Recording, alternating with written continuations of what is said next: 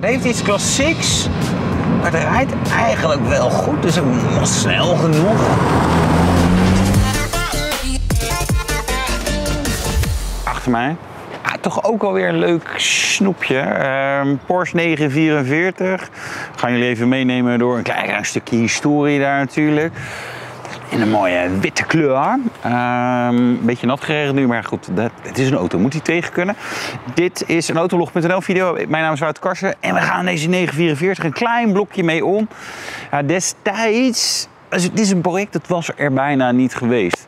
Ehm, want wat was het geval? Er was een Volkswagen-Porsche samenwerking, de Volks Porsche. Daar moest een opvolger voor komen. Uh, nou ja, en dat, dat zou soort deze auto worden. Maar met Volkswagen ging het niet zo lekker. Dus die cancelde op een gegeven moment het project. Het op een gegeven moment waren ook een samenwerkingsverband eventueel met Audi. Uh, nou ja, zo zie je al die dwarsverbanden in de industrie die er destijds al waren. Uh, en Porsche kocht het prototype, de ontwerpen en is toen verder gegaan. Maar dat werd overigens niet de 944. Uh, want dan denken jullie misschien, nee, dat klopt niet helemaal. Nee, dat is ook waar. Dat werd Porsche 924. En die had ook een Audi motor, 2 liter groot, uh, 4 cilinder. Uh, maar de 944, we komen straks op de motor terug, die had een ander blok, of andere andere blokken. Uh, maar ja, het is wel een mooi ontwerp. Uh, Harm Lagai, een Nederlandse uh, autoontwerper die lang bij Porsche heeft gewerkt, onder andere ook de 996 heeft getekend. Die heeft hier ook aan mee ontworpen, of is onder zijn verantwoordelijkheid gedaan. het, is altijd, het, is altijd, een team effort, het ontwerp van een auto. En ik vind bepaalde elementen gewoon nog steeds heel erg gaaf. Die klap, klap koplampen. Zo, ik struikel bijna over dat woord. Dat is natuurlijk lekker oldschool 80s. Uh, dat heeft hij ook. Maar bijvoorbeeld ook, kijk eens even naar die wielkast achter. Dit, dit, is echt zeg maar, maar uitgeklopt. En dat is ook het verschil met de 924. Die was natuurlijk smaller. 944 heeft ja, gewoon echt wel wat meer body. Letterlijk aan de achterkant.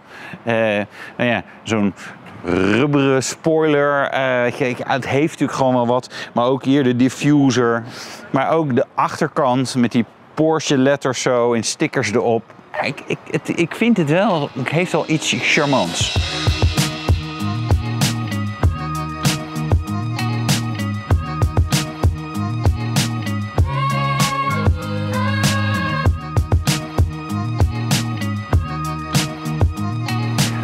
924 is trouwens ook wel weer een grappige auto, omdat die, ja, die heeft meer dat narrow body gevoel. Vind ik dan toch ook wel iets puurs hebben. Dit is natuurlijk uitgeklopt. Waar zijn we nu? Eh, worden alle auto's zeg maar, steeds breder en heftiger en zo. Maar dan heeft natuurlijk ook iets grappigs als zo'n auto wat puurder is. Maar goed, de 944 dus. Dit is een S2. We gaan het straks hebben over de motor en zo. Die heeft ook wat aerodynamische en andere delen van de turbo. Dus ja, hij ziet er in ieder geval lekker dik uit zit er gewoon goed in. Het is echt wel, dit is een best een auto op leeftijd, maar zitpositie is echt wel redelijk geniaal. Oh, heerlijk. Period corrected stuurwiel met die twee horizontale strepen zo. En dan, nou ja, is geen airbag hè. Dat was het toen nog niet. Uh, Porsche uh, schrift logo als het ware. Hè. Dus niet het logo met nou ja, dat ding, zeg maar, maar de letters daar middenin. Ik vind het wel uh, mooi gedaan.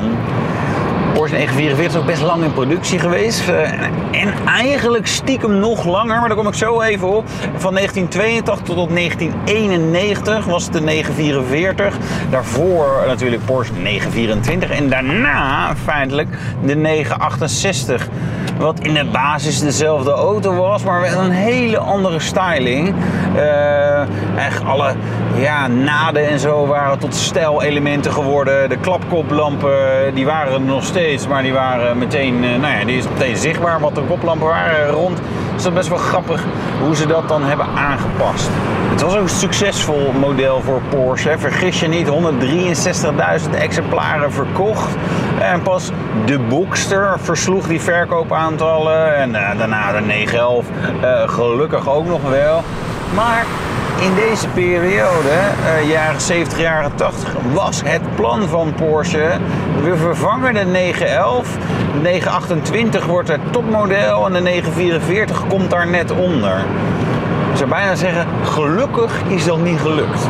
Overigens niets te nadelen van deze auto maar het rijdt eigenlijk best wel geweldig. Een mooi motorblok. Uniek is grootste viercilinder die destijds in productie was. We moeten natuurlijk niet in de jaren 20 teruggaan, want dat was nog veel grotere viercilinders, maar 3 liter groot. Dus 750 cc per cilinder. Dat is serieus uh, formaatje. Uh, dat betekent dat het een redelijk koppelrijk blok is. 211 pk had de 944 S2. 280 Nm koppel. Uh, en dat betekent topsnelheid 240 km per uur. 6,8 seconden naar de 100. Uh, en ja, gekoppeld aan een handgeschakelde bak natuurlijk. Natuurlijk. En wat ook wel aardig is, maar kijk hier zie je het mechanisme van die klapkoplampen. Zo'n zo stang die dan hier in het midden zit.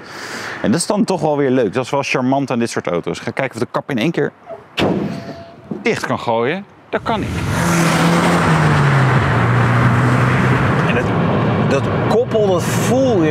Dat is, ja, het is echt gewoon een lekker potent blok. Ja, het mag ook wel. Het is 3 liter groot. En de cijfers spreken natuurlijk voor zich. Um, maar ja, je, dit auto's kan ook een beetje tegenvallen, maar dat valt nu niet qua rijden.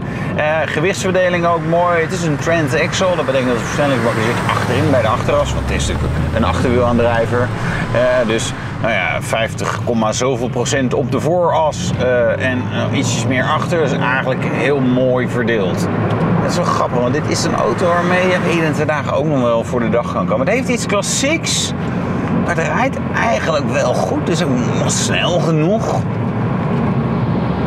Nou, het was wel een interessante Porsche om toch eens naar te kijken. Hè? Mocht je nog eens een keer een wat oudere of klassieke Porsche willen rijden, dan moet je misschien die 944 en wellicht ook de 924 toch niet overslaan. Dit exemplaar uh, wordt op de veiling aangeboden bij de collectibles.nl. Uh, hij heeft wel een paar puntjes waar je misschien even naar moet kijken. Dus lees het kavel ook gewoon even netjes. Uh, voordat je alleen maar verliefd mee gaat bieden. Dat willen ze bij de collectibles wel graag, maar het is ook goed dat je weet wat je koopt. Maar rijdt echt breed.